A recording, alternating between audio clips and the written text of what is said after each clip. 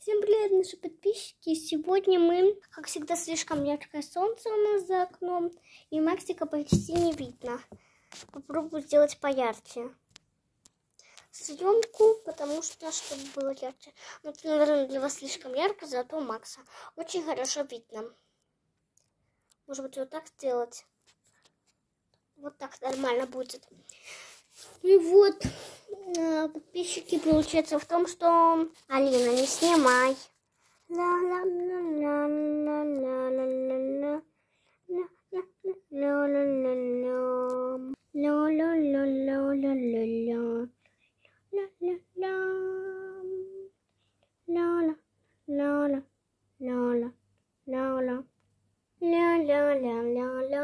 Единорожка, что ты летать собираешься?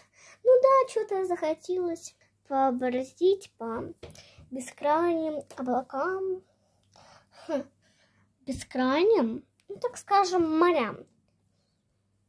Ой, что-то мне перехотелось, вылезла я из шара. А ты пока познакомься с моей близняшкой. Заместо, заместо меня она будет лететь. Она еще ни разу не летала и хочет полетать. А вы что, вместе не можете полетать?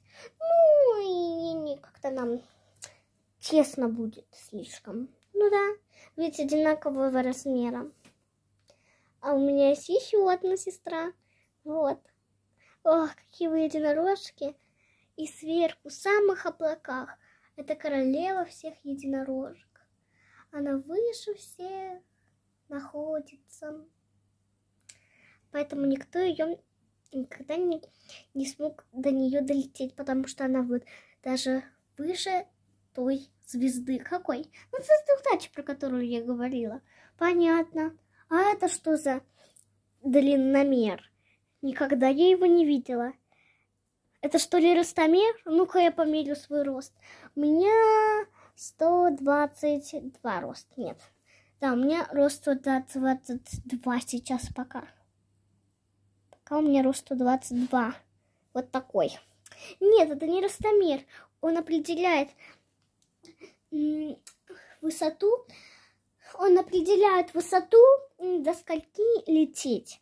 До самого неба. Чтобы нам, чтобы перед тем, как летать, мы проводим специальные отчеты, расчеты, на какое расстояние нам летать. Иначе наш шар может просто может просто погрузиться вниз, потому что если мы не рассчитаем никакие расчеты, то нам никогда не получится долететь до той звезды.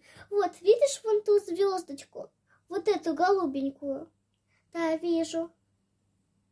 Это звездочка моей близняшки. Она на самом верхе, верху. И это и есть та звезда удачи, до которой мы не пытаемся долетать. Вот как высоко.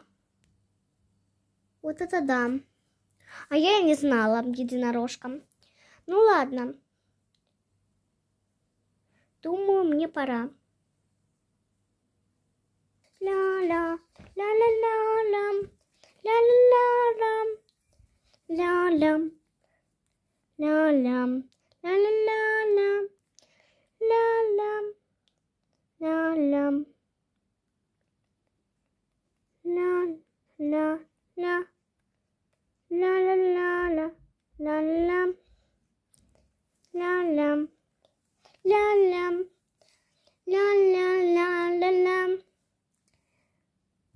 Конец первой части.